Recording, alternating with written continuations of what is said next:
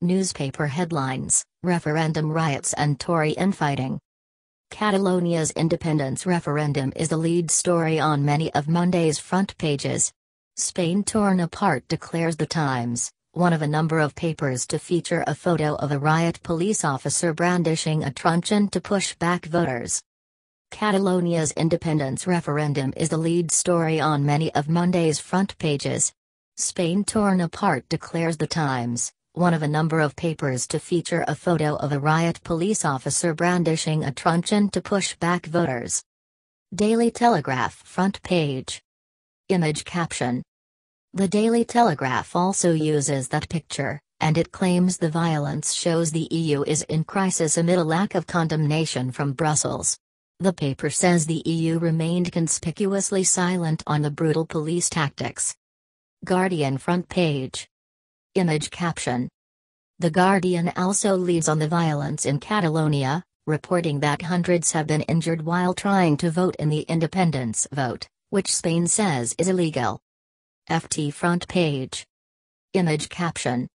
The Catalan poll is also the top story for the Financial Times, which carries a picture of riot police brawling with a demonstrator.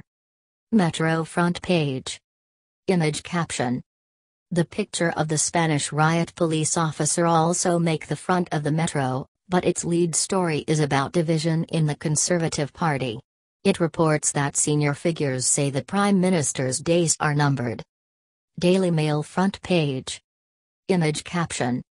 What a time to be squabbling exclaims the Daily Mail. It says Theresa May's attempts to reach out to younger voters have been overshadowed by infighting. iPaper.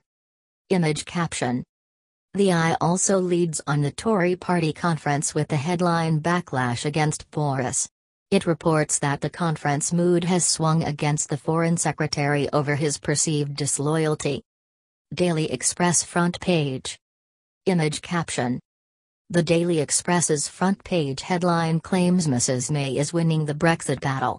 It reports that EU leaders have praised her for her Florence speech and quotes her as saying momentum is building behind her to strike a post Brexit trade deal. Daily Mirror front page. Image caption. The Daily Mirror leads on what it calls a Navy nuke scandal. It says the captain of one of the UK's nuclear armed submarines has been suspended over claims of an inappropriate relationship between two officers. The MOD is investigating, the paper says. The Sun front page. Image caption. Will you harry me? asks The Sun, which says that Prince Harry and Meghan Markle's first public kiss has sparked what it calls a frenzy of engagement speculation. Daily Star front page. Image caption. The latest series of Strictly Come Dancing makes headlines in the Daily Star. It says EastEnders actor Davood Ghadami is fuming over a comment from Judge Bruno Tonioli about his chemistry with his dance partner.